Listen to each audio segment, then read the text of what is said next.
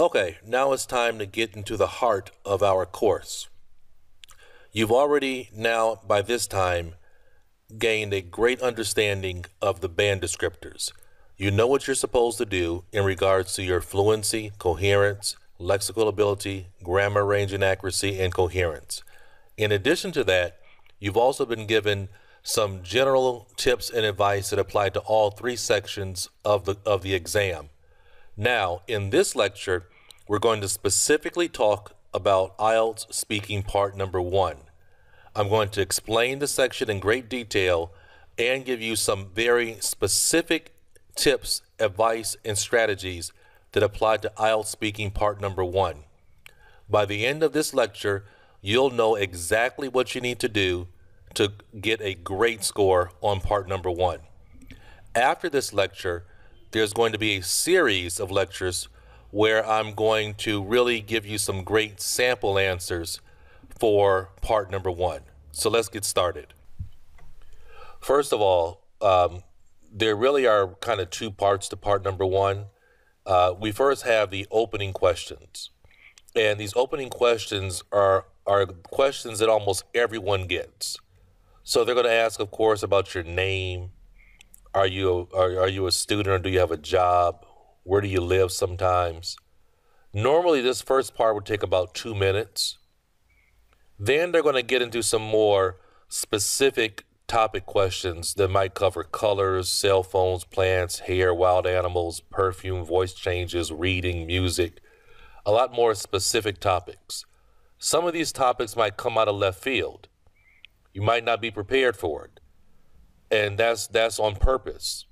The reason why is they want to be able to see how well can you handle, how well can you speak uh, spontaneously? Are you able to get a topic that you haven't really thought of or considered?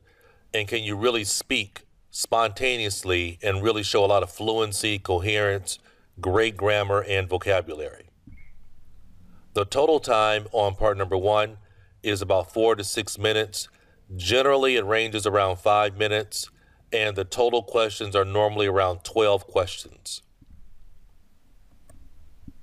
Now, basically, this is how it starts. There's some variations depending on who the examiner is, but this is basically how the test starts. In the beginning, they're going to go ahead and introduce themselves, ask for your name. Then they're going to say, you know, what can I call you? And you might say something like, I've had many nicknames, but I'm most comfortable with Benny. Now, now, don't really don't really play around in terms of really giving your name. Don't try to get too cute. Uh, just give your name and move on to the next part. Next, they're going to ask you uh, your origin. Where are you from? Technically, I'm from Benin, but I've lived 19 of my 20 years in Accra, Ghana.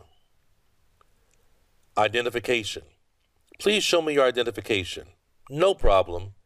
Let me grab my passport, or would you prefer another identification?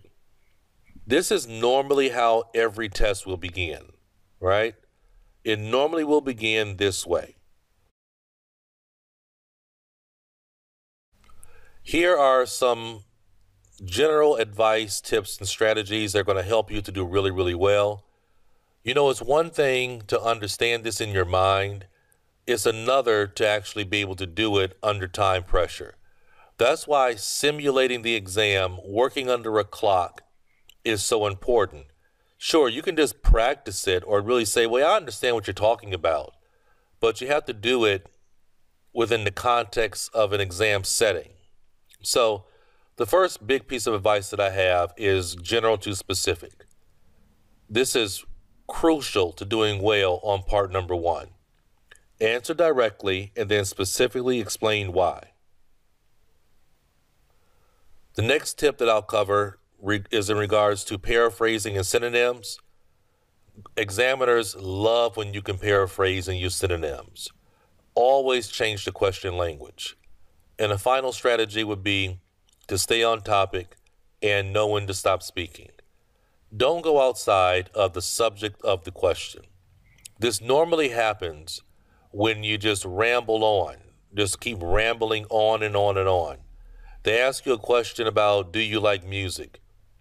and then you just keep rambling on and eventually start talking about uh, the types of music, or start talking about how long you, you know, just really, you know, what kind of music your family likes. You just you just go on and on and on outside the context of the question.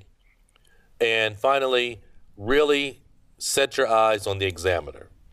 Know when the examiner is getting ready to ask you a new question. That way you can wrap it up. Wrap up your answer and get ready.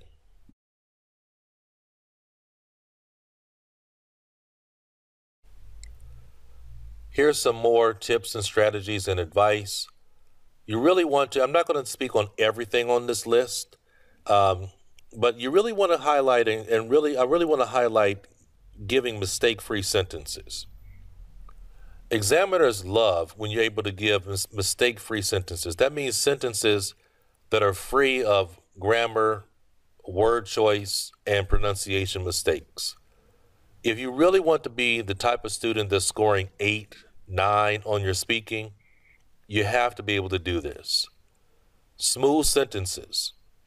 If you're able to go smoothly from beginning to end without the pausing, the hesitation, the ums and the ahs, you help yourself out a lot. Examiners also love topic specific vocabulary. If they're asking you a question, if they're asking you a question about language, give a lot of specific vocabulary about the, the topic of language. Don't answer in general, answer with specific vocabulary. Don't parrot. Don't repeat the question. Discourse markers are important, but don't overuse them. Okay? Don't overuse them. In some of the examples that I'm going to give you, I'm going to use a lot of discourse markers only because I'm trying to show you how they're used. Okay?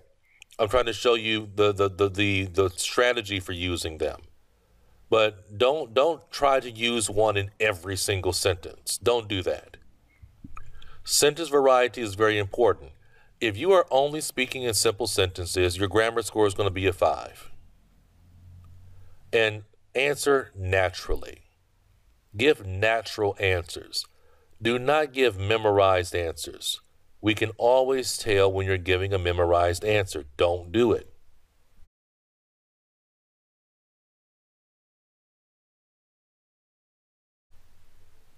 Here are some mistakes that I want you to avoid. Okay? Number one, try to really avoid these filler phrases. Yes, native speakers use these, but most of the time when a when a when a non-native speaker does it, it sounds prepared. It sounds like, okay, now it's my turn to go ahead and say, that's an interesting question, so I'm going to say that. It doesn't sound natural. So, my, my general advice is just avoid doing it. Watch out for speaking in fragments. I do understand that a lot of times in, in natural speech, students do, I mean, not students, but native speakers speak in fragments. Um, but for you, they're grading your English. So I want you really to use complete sentences, please. Watch out for answering the wrong question. I talked about this a little bit earlier, but you know, you can't just say the topic of the question is food. So I'm just going to talk about food. And they may have asked you a specific question like what type of food do you like to eat in what type of food do you like to eat in the evening? So if you start talking about lunch and breakfast items and, and other things, then you're going to get you're you're going to be marked down for that. Okay? Answer the specific question that you are asked. And finally, avoid being a perfectionist. If you worry about your grammar, whatever grammar you know, when the exam starts is what you have. Don't worry about it. Right? If you do, you can end up messing up your fluency, pronunciation, and coherence marks.